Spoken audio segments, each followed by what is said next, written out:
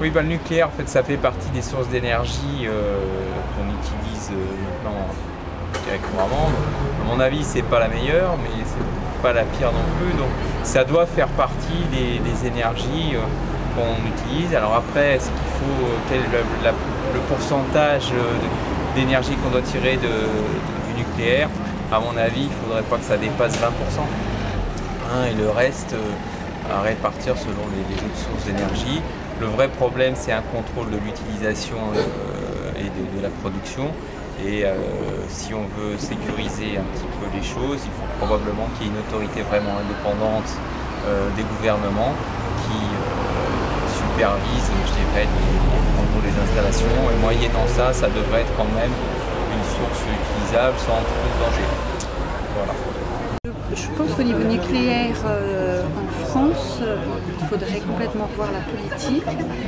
Il va, ça va prendre des années euh, pour fermer les centrales nucléaires qui existent aujourd'hui.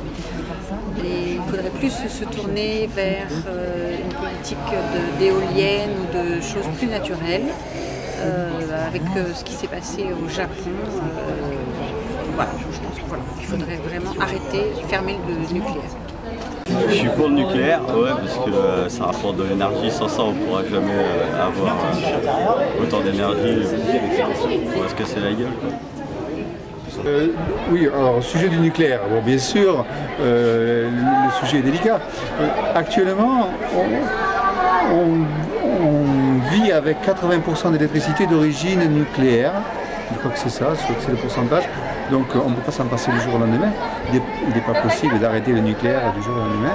Donc je suis pour l'arrêt du nucléaire, mais de façon progressive pour que euh, tout soit possible. En même temps, euh, euh, vivre avec la, qualité de vie et le confort que l'on a actuellement, et puis d'autre part, bien sûr, penser à la sécurité de nos enfants, et ça c'est très important.